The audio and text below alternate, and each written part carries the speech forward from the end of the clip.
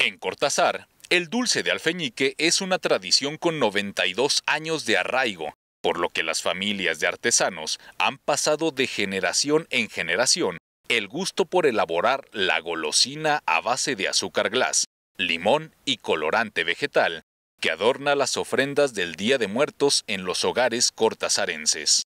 La señora Lilia Laguna, representante de los artesanos que están actualmente ofreciendo una feria del alfeñique en el centro histórico de Cortázar, dijo que ella es de la tercera generación de alfeñiqueros en su familia y contó que desde hace 40 años elabora el alfeñique, aprendiendo de su abuelita, quien comenzó con este oficio por necesidad, por lo que a la señora Lilia le gustaba ver cómo jugaba con la masa y lograba hacer figuritas. Por su parte, otra comerciante, la señora María Carmen Morales, que es la segunda generación de artesanos en su familia, tiene 40 años elaborando el alfeñique, aprendiendo de su madre, quien les dejó como herencia a todos sus moldes para que sus hijas siguieran con la elaboración del dulce, y ahora la señora Carmen enseña a uno de sus hijos y nietos para continuar con la tradición. La alfeñiquera detalló que ellos se preparan desde junio, iniciando con la base de la figura para seguir con su decoración y detallado a partir de septiembre.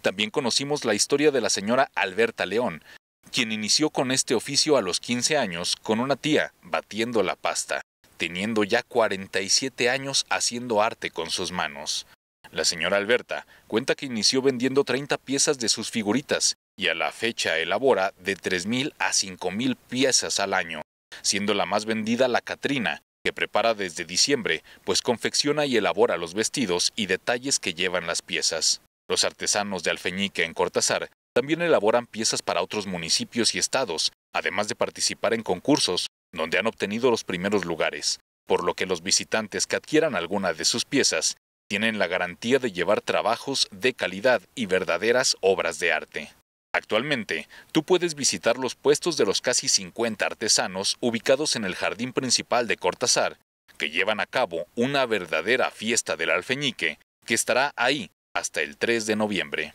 Para el sistema de noticias de TV Libertad con imágenes de Diego García, Héctor Almaguer.